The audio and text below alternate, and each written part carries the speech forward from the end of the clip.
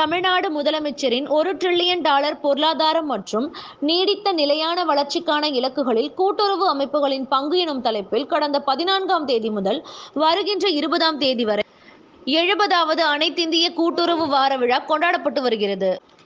அதன் ஒரு பகுதியாக திருச்சி கலையரங்கம் திருமண மண்டபத்தில் திருச்சி மாவட்டத்தில் கூட்டுறவுத்துறை மற்றும் பிற துறை செயற்பதிவு கட்டுப்பாட்டின் கீழ் செயல்பட்டு வரும் அறுநூத்தி தொண்ணூத்தி ஆறு கூட்டுறவு நிறுவனங்களை சேர்ந்த உறுப்பினர்கள் ஊழியர்கள் என ஆயிரத்திற்கும் மேற்பட்டவர்கள் இன்று திருச்சியில் நடைபெற்ற அனைத்திந்திய கூட்டுறவு வார விழாவில் கலந்து கொண்டனர். இதில் சிறப்பு விருந்தினராக கலந்து கொண்ட பள்ளி கல்வித்துறை அமைச்சர் அன்பில் மகேஷ் பொய்யாமொழி சிறப்பாக பணியாற்றிய கூட்டுறவு சங்கங்கள் மற்றும் நிர்வாகிகள் மற்றும் பல்வேறு போட்டிகளில் கலந்து கொண்டு பரிசுகளை வென்ற மாணவ மாணவிகளுக்கு பரிசுகள் வழங்கி சிறப்புரையாற்றினார்.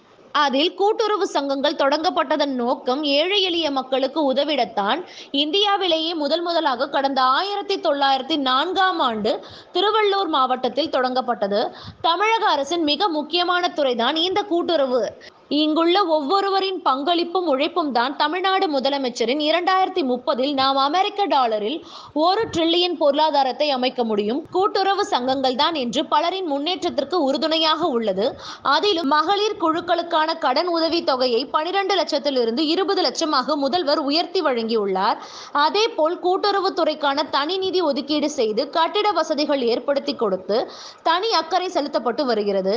அரசாங்கத்திற்கும் பொதுமக்களுக்கு இடையே இருக்கின்ற இணைப்பு பாலம் கூட்டுறவுத்துறைதான் எங்களுக்கு தபால்காரர்களே நீங்கள்தான். எனவே இந்த துறையில் பணியாற்றும் அதிகாரிகள் நீங்கள் வழங்கிய கடன்களை வசூலிக்காத நிலையில் உயர் அதிகாரிகளிடம் இருந்து கடுமையான வார்த்தைகள் வரும் இருப்பினும் அது தனிப்பட்ட விருப்பு வெறுப்பினால் அல்ல நீங்களும் விருதுகளை பெற வேண்டும் என்பதற்காகத்தான் ஒன்று சேர்ந்து உழைத்தால்தான் தமிழக முதல்வர் கொண்டு வரும் திட்டங்களுக்கு நம்முடைய பங்களிப்பு அதிகமாக இருக்கும் என்று பேசினார்.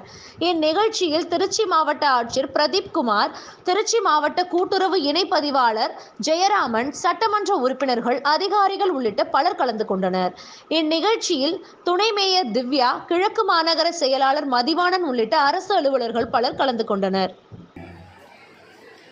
குறிப்பாக இந்தியாவிலே இது போன்ற கூட்டுறவு சங்கங்கள் ஏழை எளிய மக்களுக்கான உதவி செய்கின்ற மனப்பான்மையில் இந்திய அளவில் முதல் முதலாக இந்த கூட்டுறவு சங்கம் எங்கே ஆரம்பிக்கப்பட்டது என்று சொன்னால் ஆயிரத்தி தொள்ளாயிரத்தி நாலாம் ஆண்டு நம்முடைய தமிழ்நாட்டை சார்ந்திருந்த திருவள்ளுவர் திருவள்ளூர் மாவட்டத்தில் தான் முதல் முதலாக இந்த சங்கமே உருவாக்கப்பட்டது அப்படிப்பட்ட ஒரு பெருமைக்குரிய ஒரு மாவட்டம் மாவட்ட ஆட்சித்தலைவர் சொன்னது கூட ஒரு கிராம பகுதி அங்கே இருக்கின்ற பொருளாதாரம் வளர்ச்சி அடைய வேண்டும் என்று சொன்னால் இந்த சங்கத்தை சார்ந்திருக்கின்ற உங்களுடைய உழைப்பு சங்கத்துடைய தலைவர்களாக இருந்தாலும் சரி உறுப்பினர்களாக இருந்தாலும் சரி பணியாளர்களாக இருந்தாலும் சரி இன்னைக்கு நம்முடைய தமிழ்நாட்டுடைய முதலமைச்சர் அடிக்கடி சொல்கிறாரு ரெண்டாயிரத்தி முப்பதாம் ஆண்டு ஒரு ட்ரில்லியன் அமெரிக்கன் எக்கானமி டாலர் நாம் வந்து அடைய வேண்டும் என்று. அது எப்படி சாத்தியப்படும் என்று சொன்னால் அது ஏதோ பெரிய பெரிய பணக்காரர்கள் பெரிய பெரிய இண்டஸ்ட்ரி வச்சிருக்கலாம் முடியாது.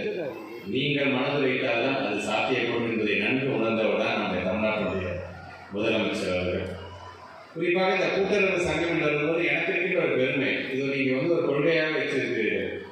அது கூட்டுறவு கல்வியாக இருந்தாலும் சரி பயிற்சியாக இருந்தாலும் சரி ஆராய்ச்சியாக இருந்தாலும் சரி.